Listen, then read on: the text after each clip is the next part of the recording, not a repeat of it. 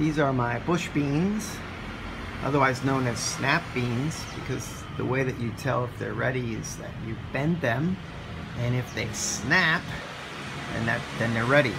The only one that seems to be ready is is this one here. If you can see the definition of the actual the bean inside, like you can there, that's that's getting ready. And you don't want to wait too long after that. But the other ones are still tiny, so I'll wait. I got about 20 on there, and then there's these. That's kind of drying out, but I have four plants that I planted after this set here. This um, group of six plants. There's four more coming later. And some carrots. Got chard over there and some onions in those waste baskets that you can see. Swiss chard right from the garden. Put some tomatoes in there. Wrap it up.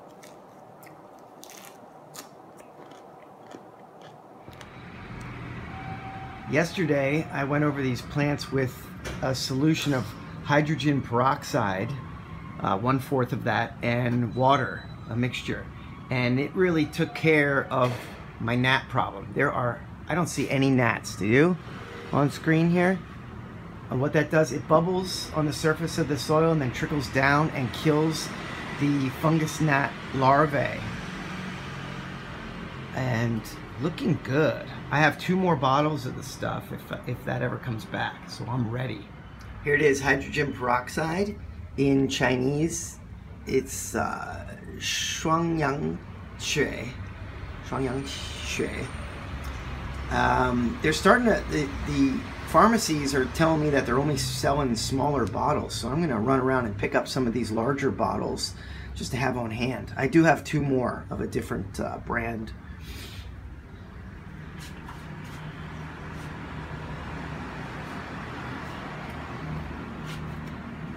start of my pepper plants.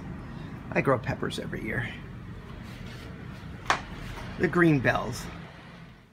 One thing you'll notice is that the beans are kind of sticky or spiny, just as a cucumber would be when you pick it. And then you just have to wash it off. Um, so that'll get rid of that stickiness or spininess. There's tiny little microscopic hairs on here that are just a little, a little rough. So yesterday I tried one raw, and now I have a boiled one. Just for three minutes. Actually boiled it in this cup in the microwave. They're soft now. Oh yeah. Want to try one?